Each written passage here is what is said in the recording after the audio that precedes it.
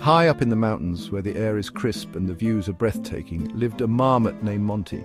Monty was a curious little creature with a thick furry coat and bright, inquisitive eyes.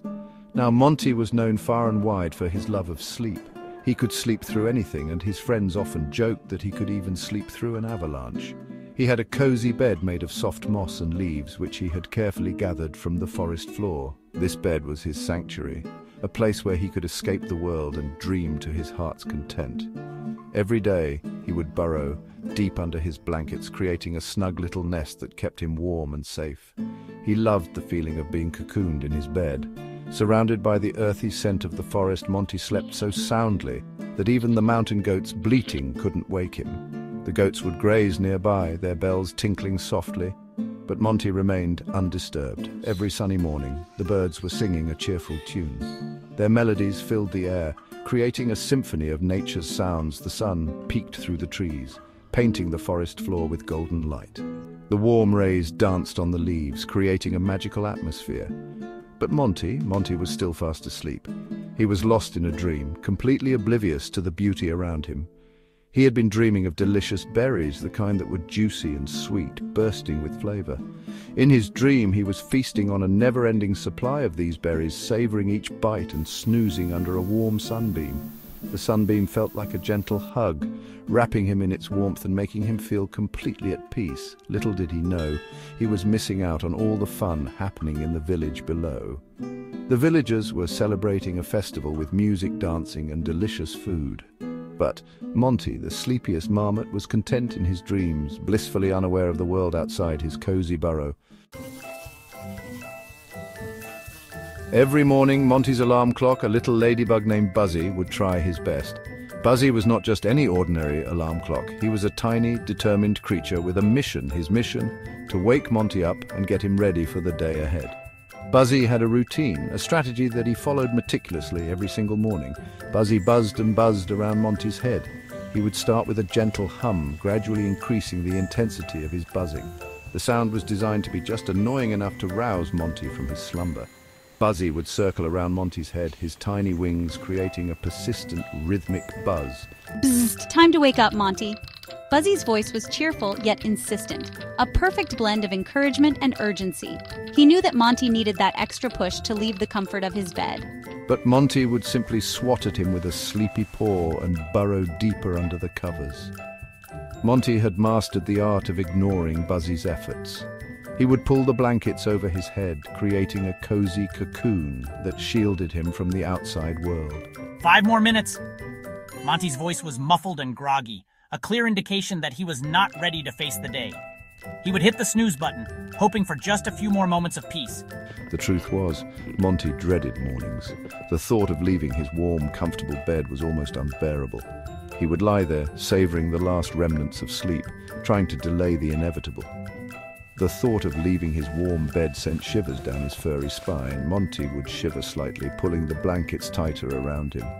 As if trying to hold on to the warmth for just a little longer, he much preferred the comfort of his dreams to the hustle and bustle of the day. In his dreams, Monty could be anything he wanted, do anything he desired. The real world, with its demands and responsibilities, seemed far less appealing. So the battle with Buzzy continued each morning, with Monty emerging as the sleepy victor. Despite Buzzy's best efforts, Monty would always find a way to stay in bed just a little bit longer. It was a daily struggle, a routine that both of them had come to accept, but Buzzy never gave up, always ready to try again the next morning. One particularly bright and sunny morning, the village was hosting its annual pancake race every year. The animals of the forest would gather to flip and race with delicious, fluffy pancakes. The aroma of freshly made pancakes, sweet and buttery, wafted up the mountainside, reaching Monty's den. He sniffed the air sleepily. Pancakes? But the allure of sleep was too strong. He snuggled back into his moss pillow, choosing slumber over the excitement of the race. Little did he know that his friend Zippy the squirrel was about to give him a much-needed wake-up call. Zippy was a whirlwind of energy, always bouncing from one activity to the next. He couldn't understand Monty's aversion to mornings. They're the best part of the day. He'd chirp, his tail twitching with enthusiasm.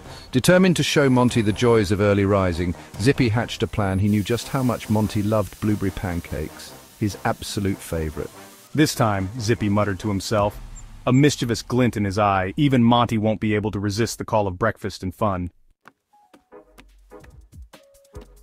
Zippy scampered up to Monty's den, a mischievous grin on his face. He'd been planning this for days, thinking of ways to make Monty appreciate the beauty of the early morning. Zippy loved the mornings, the fresh air, the chirping birds, and the golden light of dawn. He wanted Monty to experience this joy too. He had a plan to help Monty enjoy mornings. It wasn't just about waking up early, it was about embracing a new perspective, a new way of starting the day. Zippy believed that mornings held a special kind of magic, a promise of new beginnings and endless possibilities. We'll start tomorrow, Zippy announced with a determined glint in his eye. He was ready to take on the challenge, no matter how difficult it might be. Monty, still half asleep, could only nod slowly. He wasn't a morning creature by any means. The thought of waking up before the sun was daunting, but he trusted Zippy. He wasn't sure what Zippy was talking about, but it sounded like a lot of effort. Monty loved his cozy den and the comfort of sleeping in. The idea of changing his routine was overwhelming. We'll need to set your alarm extra early, Zippy declared, his voice filled with excitement. He was already imagining the adventures they would have at dawn. Monty groaned. The idea of an early alarm was not appealing. He loved Zippy, he really did, but sometimes his friend's enthusiasm could be a bit much, especially for a sleepy marmot. Although he loved Zippy very much, he found Zippy too pushy, especially for a sleepy marmot. Monty knew that Zippy meant well, and he didn't want to disappoint his friend. Zippy, however, was not giving up. He was determined to show Monty the magic of mornings. He believed that once Monty experienced the beauty of the dawn, he would understand why Zippy loved it so much. He was determined to show Monty the magic of mornings. The sunrise over the forest, the morning light filtering through the trees, and the peacefulness of the early hours were things that Zippy cherished. He wanted Monty to see that mornings could be the best part of the day. The next morning, Monty was jolted awake by a loud crash. He sat up in bed, his fur standing on end. Zippy stood in his doorway, a sheepish grin on his face. Oops, Zippy chuckled. My bad, but hey, at least you're up. Monty was very angry first. Zippy had accidentally knocked over a stack of flower pots while trying to be quiet. He then looked funnily to Monty and said sorry, but then something unexpected happened. Monty started to laugh. Zippy's deliberate clumsiness, combined with his unwavering enthusiasm, was simply too much to resist. Zippy, with his boundless energy, dragged Monty out of bed. He practically had to pry Monty's paws off a particularly comfy mushroom. Come on, sleepyhead, Zippy chirped, pulling Monty along. You won't believe what you're missing. Blinking in the morning light, Monty slowly followed Zippy outside. After two minutes, he was wide awake. The fresh, crisp air filled his lungs. He felt so happy and fresh, he had to admit it felt good to be out of bed. He decided that he will wake up early every day. He thanked Zippy and he happily woke up early ever after. As the sun began to rise over the horizon, Monty found himself not just awake, but genuinely excited for the day ahead. The golden rays of the morning sun painted the landscape in warm hues, and Monty felt a new-found sense of purpose. He looked at Zippy, who was already darting around, full of life. Thank you, Zippy, Monty said earnestly. I never knew what I was missing. Zippy paused for a moment, his eyes twinkling. That's what friends are for, Monty, to show you the world in ways you never imagined. From that day on, Monty embraced each morning with enthusiasm. He discovered the joy of watching the sunrise, the thrill of new adventures, and the simple pleasure of spending time with friends. He realized that waking up early was not just about getting out of bed, but about starting each day with a sense of wonder and possibility. Moral of this story A true friend will even trouble you to make you better. We must choose good friends and also be a good friend. Filmed by Satesh Khubchandani.